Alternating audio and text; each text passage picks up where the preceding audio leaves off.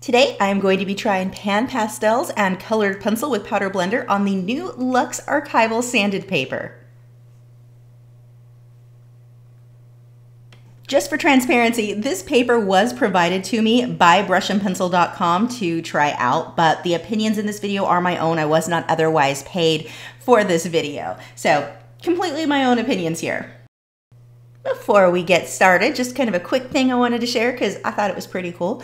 This piece got used in an advertisement in the Colored Pencil magazine. If you are not already signed up for the Colored Pencil magazine, I will put a link in the video description.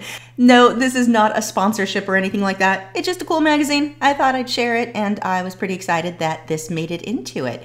If you're supporters over on Patreon, make sure to head over where I've got the two part version, a total of three hours and 40 minutes for this demonstration.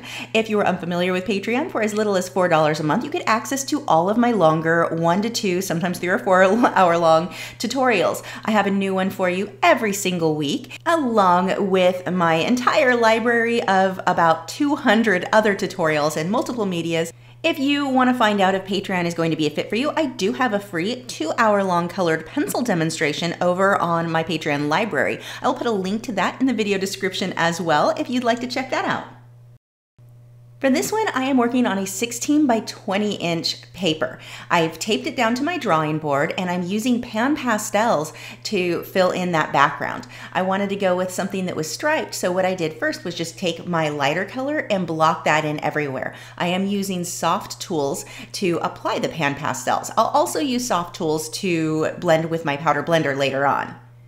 Just gonna fill that all in. Now I drew out my stripes. I sat there and measured with a piece of paper to try to make sure they were as close as possible. I am going to make these kind of fuzzy on the edges. I don't want them perfectly, perfectly smooth. So if they were a little off, it wasn't going to be a big deal given that I was going to smudge these out. Now I am blending this with the colored pencil out with a little bit of powder blender. Gonna darken the edges a bit more. And then I want to get a little bit of a vignette look, so I also darkened around the edges of the paper altogether, even on the light stripes. Blended that out. Now it takes very, very little powder blender to blend this, especially given that I'm going on top of pan pastel, so it's already going to blend really well anyway. lightening up some of these stripes, and I'm using one of the, the Soft Tools sponges to really get that rougher look that I wanted for that background. Darken up those stripes a bit more. And now I'm going to start on the details of the fish. So we'll start with this yellow tang. Remember when you are blending things with yellow, do not jump to black for your shadows. I mean, usually I would say don't jump to black for the shadows anyway, but this is especially important when you're working with yellow and orange. You get this kind of weird greenish color that usually is not what you want. Now there are exceptions to that, but if at all possible, when you're blending with over a yellow area, using purples and magentas, oranges, reds, those are generally going to be far better choices for blending on top of yellow. And especially with colored pencil because that that's going to blend in whatever color you blend on top of it. It's going to mix in with that yellow. And that's where you get some of these really not so nice colors. They'll come out kind of muddy. Or very muddy, I should say, of using black. We've got a little teeny jellyfish up here. One of the things that I love so much about fish and coral, or drawing and painting fish and coral, is you can change their color pretty drastically. Because if you put them under a different light, they're gonna look totally different anyway. And a lot of different coral come, like we'll say zoas, they come in any color combination I think you could imagine. So you have a lot of freedom in thinking, okay, I think a pink coral would look good here. You just find a good photo of a coral and then make it pink it, it, doesn't have to start pink. You just turn it pink. You can do that really freely with a lot of corals. If you are looking for really high definition, high resolution photos of corals, I am signed up for Tidal Gardens. Tidal Gardens is a coral vendor that they have a channel here on YouTube. They also have a Patreon channel where they provide because they take such high quality res or high resolution photos of their their corals, they provide that to artists to use in our artwork. I will put a link to that in the video description. You get a ton of photos every single month for as little as I want to say $5 a month. Wonderful wonderful Patreon uh, reward there. So moving on to just the base layer of these corals. I don't have to have them finished. I just want to get a base on them. I'm going to get a lot of white highlights when I use my touch-up texture titanium white over this. You can see again with that yellow coral, just like with the fish, I'm going to do a lot of shading with magentas and oranges, purples. Those are much better choices than black for shading those guys.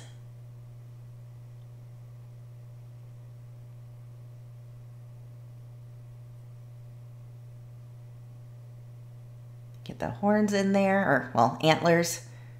I'm bad at words. No one's surprised if you've been around for very long. For the darker shadows on that coral, I used a darker purple. Now, most of the pencils that I'm using for this project are my Faber-Castell Polychromos. These pencils blend beautifully with Powder Blender. With Powder Blender, I don't like to use my wax-based pencils. So in my case, I that would be the Caran d'Ache Luminance. Um, if you use Prismacolor, those uh, would also fall into this category. I would save those for your final layers. For the layers where you're blending out, you want to use a nice oil-based pencil. They're going to blend way better. For a pencil that has a very high wax content, it just sticks too much to the paper, so the powder blender can't get it to move and blend out so nicely. With the powder blender, you're you're able to make your oil-based pencils behave very much like a pastel pencil, but with less mess and without that chalky feel. It, you guys who know me know I am really weird about pastel feel, the chalk on my hands. It really freaks me out. Like I, I, I have issues. I can't handle it. So this is an alternative. I can get that pastel look that I love so much, but with my colored pencils. It saves a lot of time. They blend out so nicely and so quickly. This 16 by 20 inch piece, I spent two weeks on it. If I weren't so busy during those two weeks, I could have had it done in a week, which is a pretty big deal given the size of this. And then especially using Pan Pastels as the background, that just saved a ton of time. I've done 16 by 20 where it was just straight colored pencil. And I'm not saying I won't do that again. I do enjoy working with OMS or odorless mineral spirits and colored pencil, but man, you can get so much done so quickly with this method using Pan Pastels for a background, using colored pencil and powder blender on sanded paper. And the sanded paper, this is, it's still smooth. It's textured textured, but it's also smooth enough you can get really nice fine details.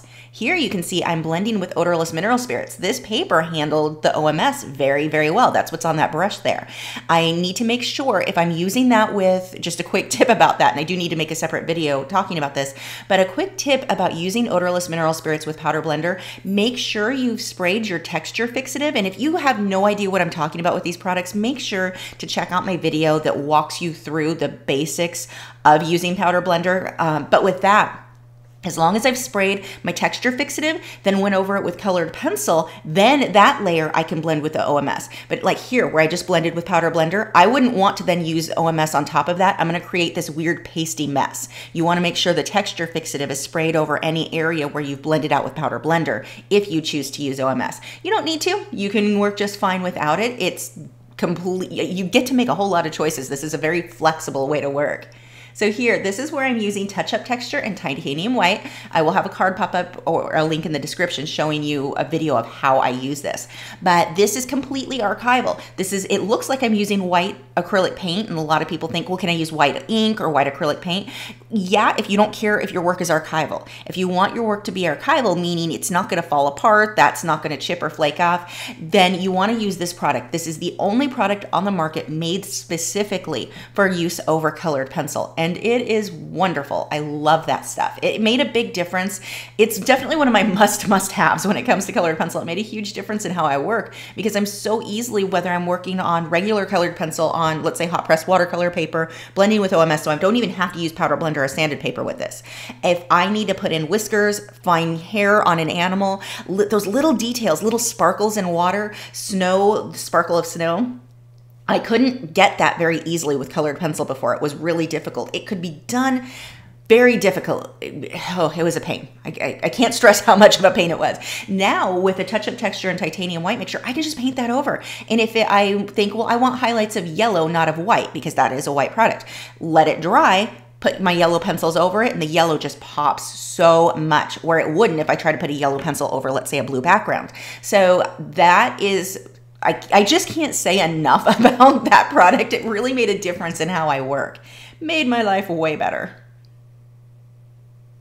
So we're going to go through some seriously ugly stages on this poor guy here for blocking in the base layer.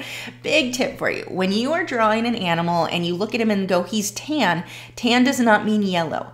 I avoid it most, unless there's a yellow glow from the sun casting on the animal, that would be the only exception I can really think. I do not use yellow pencils or yellow paint in my, in fur at all. I really, really avoid that. Tan, yes. Purples, uh, grayish tones, you all of those, yes. Magentas, all pretty much every color except yellow. I kind of avoid green too, but yellow especially. A lot of people will look at, let's say, a yellow lab and think, well, yellow lab, yellow. Nope. No yellow at all. Those are tans, purples, magentas. You're not going to use yellow. Avoid yellow in fur unless and like i said there, are, there are exceptions to everything. As much as i'd like to come up with hard rules in art there will always be an exception. And there are times where the way that the sun is casting especially at a sunset on an animal you'll get this yellow glow around the edge. It's possible that yellow would be the choice on certain in certain cases but more often than not you want to avoid it. If done correctly at the right time it can look amazing but this is not that time you can see I'm using a lot of purple. I wanted this guy to be really colorful, so I pulled in extra purple, extra blue, extra magenta for the shadows.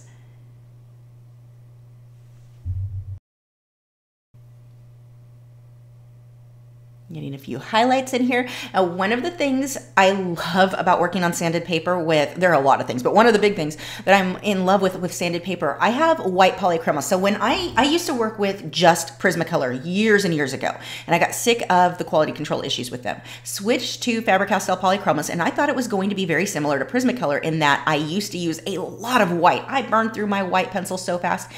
What I didn't realize is that the white polychromos is fairly translucent, much like a lot of the other colors, which is not ideal for a white pencil. So I, I, had a ton, I had bought so many, I must have paid, bought like 15. I mean, I bought a lot of extra thinking I was gonna need those. Yeah, no, not so much. But now that I have sanded paper, the white polychromos shows up beautifully, nice and opaque on the sanded paper.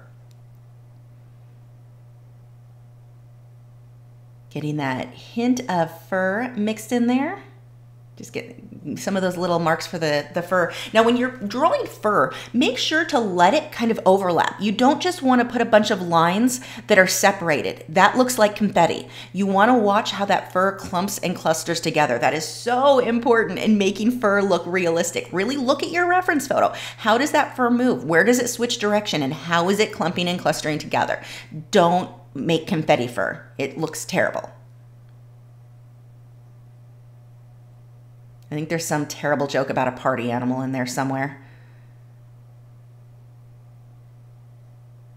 I'm going to soften all that out. Now, I was thinking I wasn't going to pull blues, the background color, into him. So I put a lot of work, or, or, I wasted a lot of time, I should say, drawing the fur, getting that in on his body. And I realized I just didn't like it. I felt that it was pulling attention away from the coral in his antlers and away from his face. So what I did, and you'll see this later on, I pulled the, uh, actually, I don't even know if it's on the video, but I pulled with the Pan Pastels. I just put that on top of the colored pencil, the same teal colors that I used in the background background, I pulled to darken up the body around the edge. And it really helped center the attention back on his face, back on his antlers and the coral there. But when it was so bright, like you're seeing now, it just was really drawing my attention to the wrong area of the paper. Building up those clumps and clusters of fur there. And look how, even though the fur is technically white, it's cast in shadow. So I'm pulling the blue and the purples into that shadow under his neck or under his face in the front of his neck. I don't know. I'm bad at words.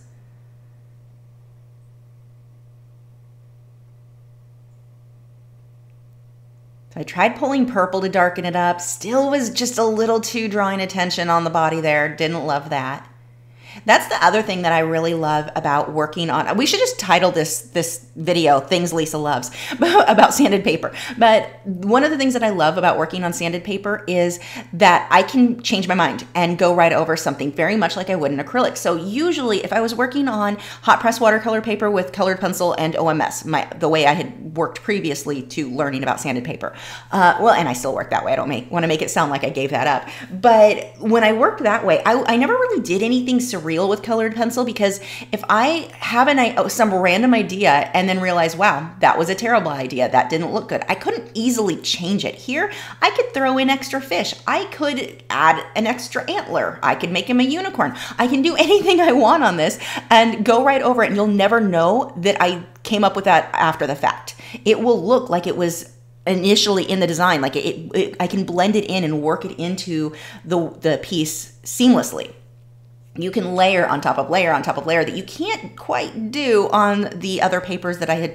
typically worked with on colored pencil. And so that's why if I'm going to do something surreal and I want to work in colored pencil, I can pretty much guarantee I'm going to choose sanded paper. It will definitely be my go-to. Like here, here are some bubbles. I didn't have to draw those in previously. If I were working on hot press watercolor paper, I probably would have. Here, I can can make up my mind on where I think they'll look good at the end, at the very end, without negatively affecting it.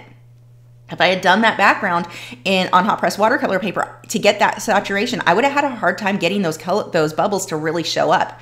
Not a problem here. You can do so many layers on this paper, so it feels a lot more. I feel like I have the same freedom that I do working in acrylics or oil paint on canvas where you're just unlimited on the changes you can make. The uh, you can change anything forever. I have never hit a point where I just couldn't add more. And for me, with surrealism, because I'll change my mind every five minutes, that's a big deal.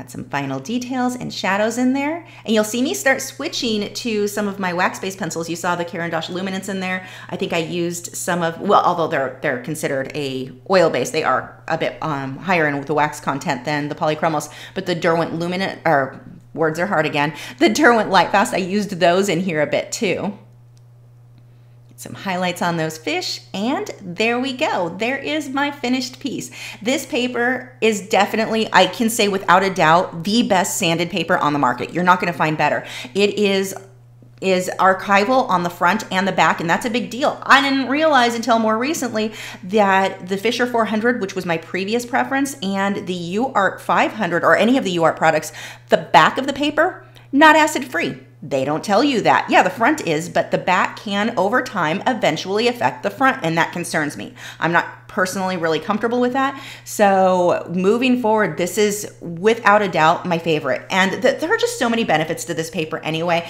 It's great because it's not as messy as other sanded paper. It feels to me like the Pan Pastels and the colored pencil, it just sticks better. And I don't mean sticks as in you're not able to blend it out. It's just there was less fallout. And if you've used sanded paper with colored pencil or even pastels, you'll know what I mean. The pencil kind of falls off the paper. It doesn't with this. It just, it, well, it does a little, but not to the extent that it did on other sanded paper. I guess I should clarify that. But I I had so much less mess with this paper than any other sanded paper I've used, and I'm fairly neurotic about things being clean, and so that's that alone's a big deal. You're ta- you've got a paper that is completely white, so your colors are going to be more pure than they would be on an off-white paper. I, I could go on for hours. This paper is absolutely wonderful.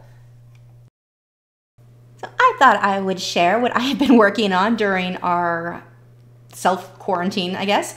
This was what my backyard looked like pretty much when we moved in. We moved in in what was it, November, early November, and there had been a heavy frost. I had never seen my yard green except the weeds. So, and this was actually after I'd already weeded about half of them. I had to, it took me a week to get rid of all those green spots you see right there are weeds. Those all had to be hand pulled, which turned out it's a bit of an addiction. I weirdly really enjoy pulling weeds.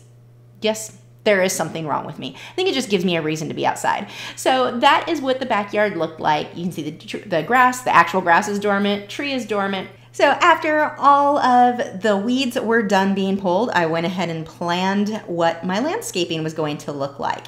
So this was, again, back during the winter. Absolutely terrible. This is it now. I still have a lot of dead spots in the grass, which we are going to have to talk to the builder about and see if they can do anything about it. I don't think they're going to. I think I'm just going to have to get some more sod, which is fine.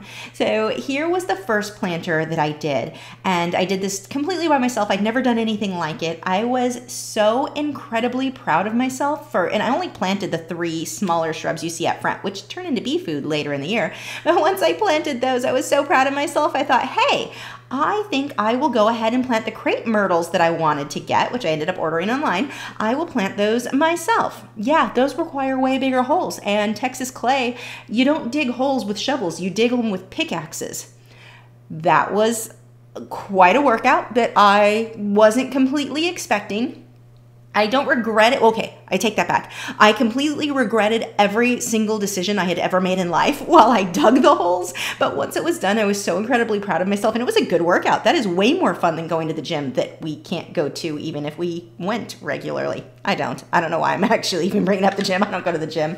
So, anyway, here is what I did I had to pull the grass from that area. I put down the edging. That edging is actually really heavy. It's recycled tires, which I thought was a pretty cool thing to use for edging. So I put down the edging. I pulled the grass, which I already mentioned. I pickaxed, I can't even say dug. I pickaxed the five holes for the crepe myrtles, got them planted, did the whole, you know, you it takes a lot of work to plant a tree because when you pull it out of the pot, you have to break up those roots. Did all of that got them in then dragged out the dragged drug i don't know how, how what the past tense of that is dragged out the it was 20 bags of mulch and I need more, but this is not the time to go get it, so that's on hold. But I dragged out all of the mulch and put that along the back wall. My muscles were so incredibly sore, but it was also probably the one of the things I'm most proud of myself for having accomplished. I was so excited about it. That tree, by the way, totally screwed up putting lights in there. You can see it's all at the bottom, not at the top. Yeah not my best work. I need to redo that. But here it is in the dark. I'm using solar lights for everything back here. Not so great on rainy days, but it's Texas, so mostly we have sun and they it just looks so nice. It I want to spend all my time in the backyard. I think I need to set up an easel out here and figure out a way to combat mosquitoes.